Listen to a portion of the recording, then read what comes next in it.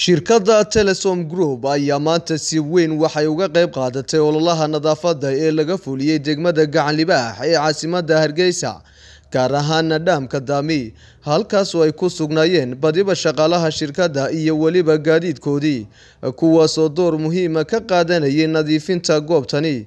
Yaasiin nuur mooge madaxa xidhiidhka dadweynaha ee shirkadda telesom oo ku hadlayay afka mas'uuliyiinta shirkadda oo halkaasi ka hadlay ayaa waxa uu yidhi waxaynu maanta halkan u joognaa waa nadaafaddii aynu u ballansanayn amba ololaha nadaafadeed ee dowladda hoose inagu baaqday.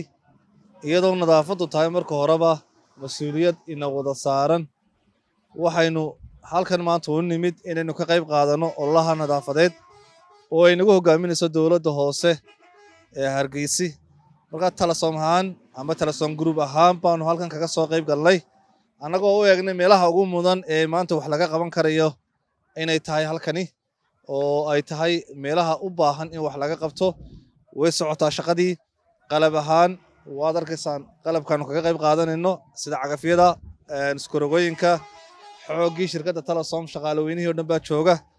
Waxaan leenahay ha loo wada guntado nadaafadda caasimadda waxay qayb ka tahay horumarkeeda waxay ka qayb ka tahay bilicdeeda waxay qayb ka tahay inaynu helno caasimad qurux badan oo aynu ku wada magaranaysaayey ina aynu dhammaanteen nolosheenna iyo quruxda aynu doonayno aynu ka helno ee nololeed waad mahadsantihiin waxaan leenahay maanta hadal yar iyo hawl badan.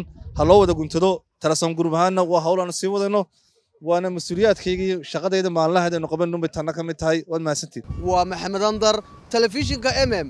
Magaalada hargeysa